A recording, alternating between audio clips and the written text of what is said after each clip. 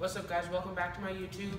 Two, three videos ago, I promised you guys a bike check once I got all the parts. You saw the openings, the parts are here. You didn't, you missed one opening because I forgot to film it and I didn't build a bike, I, uh, I didn't film a bike build because I was too excited. So let's get into it. I have a Fit Mac 1 frame, powder coated white.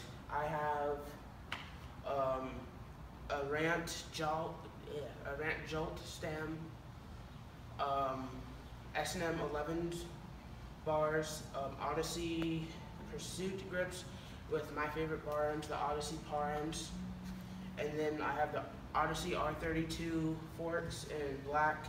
I have a Mission birdcage front hub with Mission spokes laced through an alienation rim with a kink what is it, uh, Kink Skylark for, or tires, I think. I may be wrong. I'll put it right here. Um, I have Fiction Troop pegs. Um, for the cranks, I have, or no, for pedals, I have the Odyssey Tom Dugan grandstands and the alloy with the pins.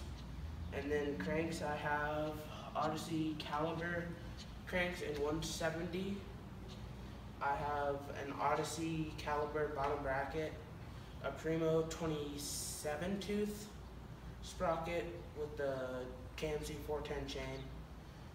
And then for the back wheel, I have the same kink tie that's in the front with a Rant Party On rim, I think, and a Rant Moonwalker coaster with, again, another four, or another two plastic fiction pegs. I have Duo Scotty Cranmer pivotal seat.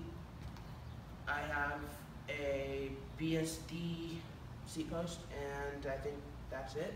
Oh no, headset. I have a Cinema lift kit, and I didn't have the spacer small enough for the biggest thing, so I had to use the smallest uh, dust cap and a big carbon fiber spacer. And that's my 2017 bike check.